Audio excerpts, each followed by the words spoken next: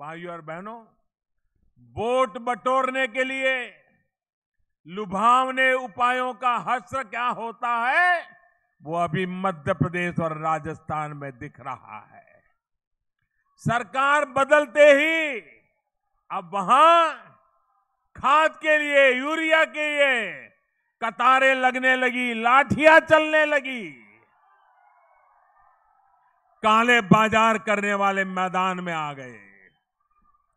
कर्नाटक में लाखों किसानों की कर्ज माफ़ी का वायदा किया गया था। भाइयों बहनों, ये सच्चाई समझिए। कर्नाटक में अभी अभी कांग्रेस ने पिछले दरवाजे से सरकार बनाई और कर्ज माफ़ी का किसानों को वादा किया था। लॉलीपॉप पकड़ा दिया था। लाखों किसानों का कर्ज माफ़ होना था। और किया कितना? बताऊँ? बताऊँ कितना किया? कितने किसानों को लाभ मिला बताऊँ? आप हैरान हो जाएँगे। बताऊँ? लाखों किसानों के को कर्ज माफ़ी का वादा किया गया। वोट चुरा लिए गए। पिछले दरवाजे से, चोरी रास्ते से सरकार बना दी गई। और दिया कितनों को? सिर्फ़ सिर्फ़ सिर्फ़ सिर्फ़ सिर्फ़ 800 लोगों को।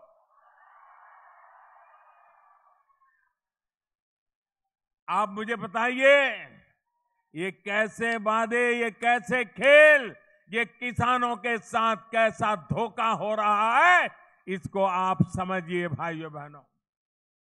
जिनका नहीं हुआ कर्ज माफ़ी तो नहीं हुआ। लेकिन अब उनके पीछे पुलिस छोड़ दी गई है। जाओ, पैसे जमा करवाओ।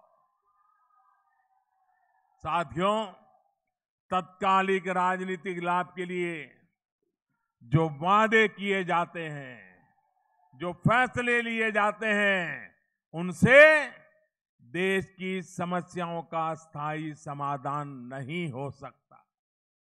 2009 के चुनाव से पहले क्या हुआ? आप सभी उसके साक्षी है। 2009 के चुनाव के पहले भी ये ऐसे ही लॉलीपॉप पकड़ाने वालों ने कर्ज माफ़ी का वादा किया था। देश भर के किसानों का कर्ज माफ़ी का वादा किया था। मैं यहाँ जो किसान है, मैं जरा पूछना चाहता हूँ। दस साल पहले 2009 में क्या आपका कर्ज माफ़ हुआ था क्या? माफ़ हुआ था क्या? आपके खाते में पैसा आया क्या? आपको कोई मदद मिली क्या? वादा हुआ था कि नहीं हुआ था? सरकार बनी थी कि नहीं बनी थी? और फिर आपको भुला दिया गया कि नहीं भुला दिया गया?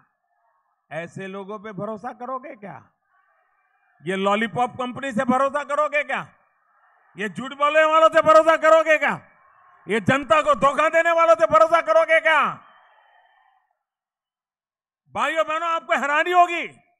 तब छह लाख करोड़ रुपए का कर्ज किसानों पर था। पूरे देश में छह लाख करोड़ रुपए का। लेकिन माफ़ करने की घोषणा की गई। वो कितने की हुई, आपको मालूम है? छह लाख करोड़ का कर्ज था। और चुनने के बाद, सरकार बनने के बाद कैसी ड्रामेबाजी की गई, कैसा किसानों की आँख में धूल झोंकी गई, ये आंकड़ा खुद बोल देता है। छह लाख करोड़ के सामने कितनों रुपयों का कर्ज दिया गया, माफ़ कर दिया गया, मालूम है आपको? मैं बताऊँ? याद रखोगे? याद रखोगे? ये लोग आ जाए, लॉलीपॉप पकड़ाने के दोबारा याद कराओगे? पक्का कराओगे?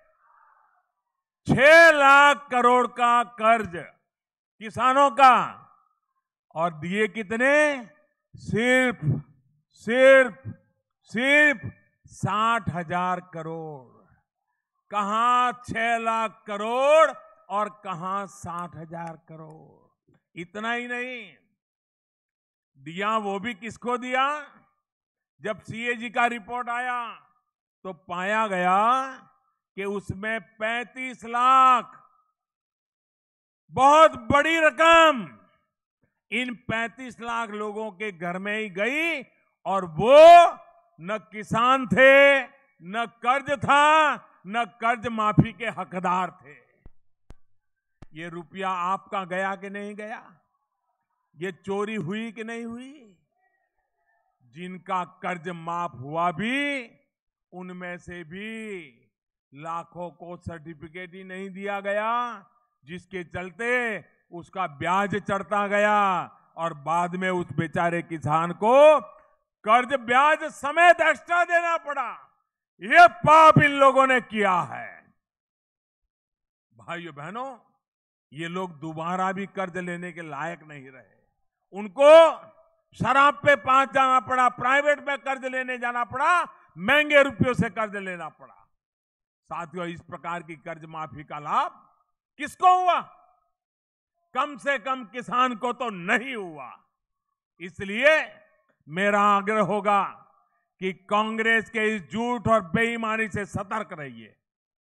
याद रखिए कि कांग्रेस की सरकार ने तो स्वामीनाथन आयोग की सिफारिश तक को लागू नहीं किया था।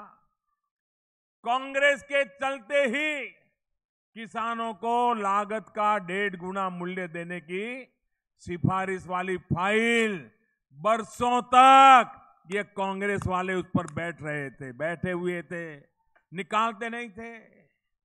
अगर कांग्रेस ने अपने जमाने में, आज से 11 साल पहले, अगर स्वामीनाथन कमीशन को स्वीकार किया होता, लागू किया होता लागत का डेढ़ गुना दाम किसानों को देना तय किया होता तो आज मेरा किसान कर्जदार होता ही नहीं, उसको कर्ज की ज़रूरत ही नहीं पड़ती।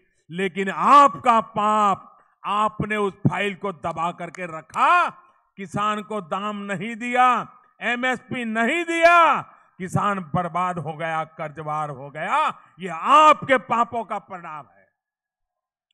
इस फ़ाइल को भाजपा सरकार ने बाहर निकाला और धान सहित 22 फ़सलों का एमएसपी लागत का डेढ़ गुना तय किया गया।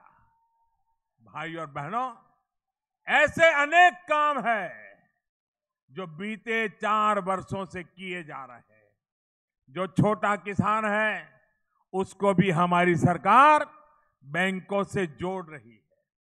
मंडियों में नया इंफ्रास्ट्रक्चर नई सुविधाएँ अब तैयार हो रही है। तकनीक के माध्यम से मंडियों को अब तैयार किया जा रहा है। नए cold storage mega food park उसकी भी चेन अब तैयार हो रही है। साथियों, किसान की फ़सल से लेकर उद्योगों के लिए ज़रूरी आधुनिक इंफ्रास्ट्रक्चर भी यही सरकार तैयार कर रही है। पूर्वांचल की बेहतर कनेक्टिविटी के लिए बीते साढ़े चार वर्ष में अनेक काम पूरे हो चुके हैं और अनेक प्रोजेक्ट्स आने वाले समय में पूरे होने वाले हैं। पूर्वांचल एक्सप्रेस वे पर काम तेज गति से चल रहा है। पिछली बार जब मैं गाजीपुर आया था